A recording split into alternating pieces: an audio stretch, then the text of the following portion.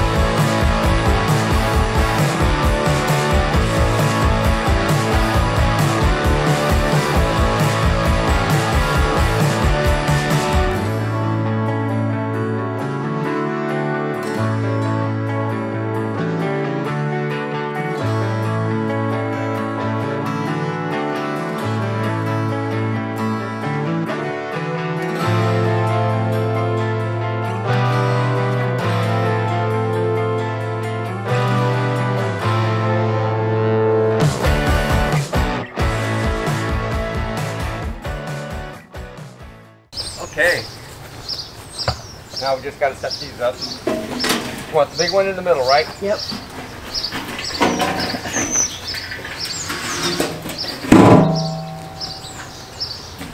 Yeah, we've got to get these all done today and watered today. And then water probably every other day.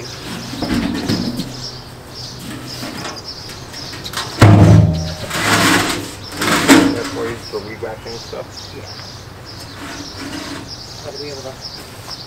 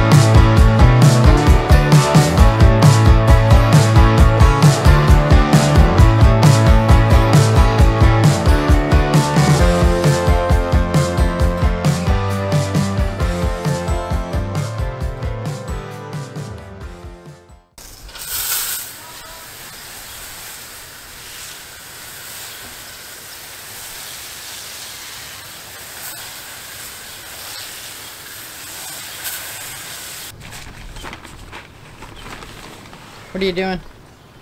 Putting some fertilizer on some 10 10 10.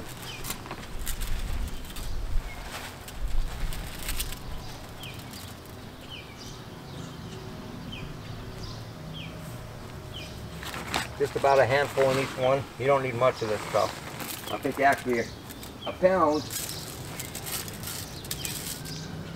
will do 100 square feet. We got to fork this in and put peat moss on it and some lime. We're going to put some peat moss on it. After we get that on, we're going to sprinkle lime on it. Peat moss is very acidic, so the lime, lime will neutralize it. Make sure that you get, when you do lime, don't get the pellet, pelletized, get the crushed. That way it activates right away. And we only need a couple inches of peat moss.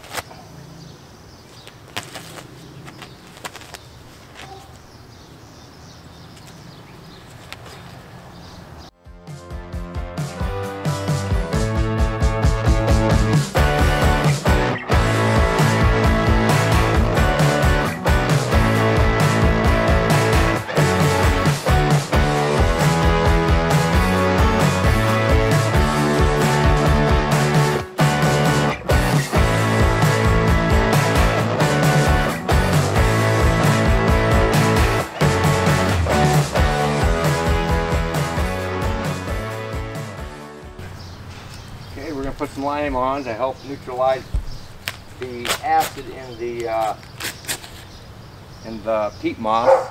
Peat moss runs about 3.5 to 5 on on the uh, pH uh, thing, so we're gonna neutralize it with a little bit of acid. We're just using it for moisture control.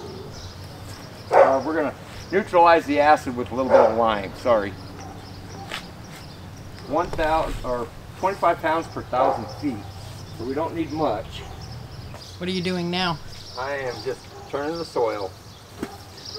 You might want to get that chunk out. Oh, that's hay. Yeah. I'm going down this deep, Kim. Okay.